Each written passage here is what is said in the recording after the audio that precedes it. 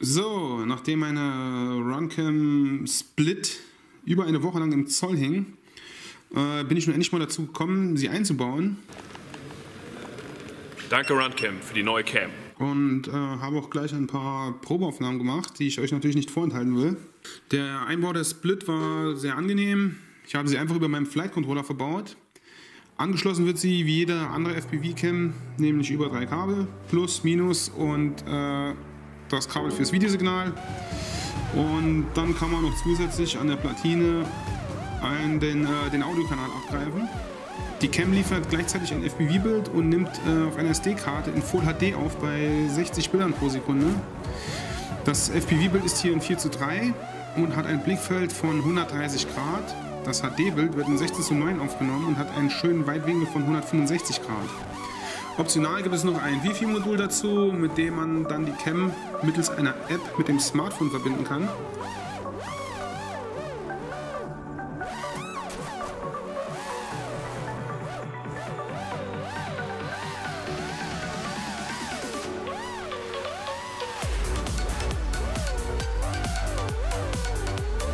Zum Auslesen der Videos muss die Karte nicht entfernt werden.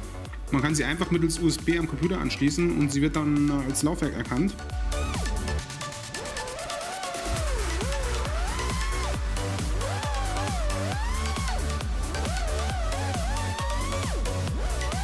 Das FPV-Bild ist okay, aber nicht herausragend.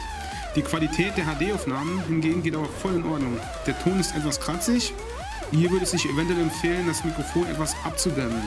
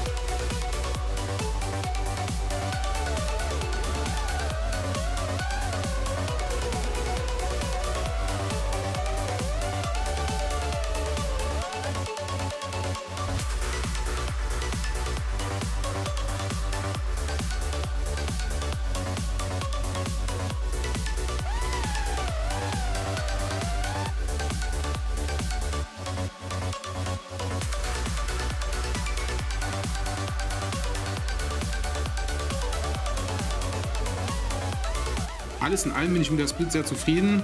Äh, sie ist eine echte Alternative zur wesentlich schwereren und teureren GoPro. Also wer HD-Aufnahmen mag, aber das Gewicht seines Setups deutlich reduzieren will, ist hier mit meiner Meinung nach gut bedient. Ich möchte anmerken, die Aufnahmen über den Straßen entstanden sonntags in einem Industriegebiet und die Straßen waren unbefahren.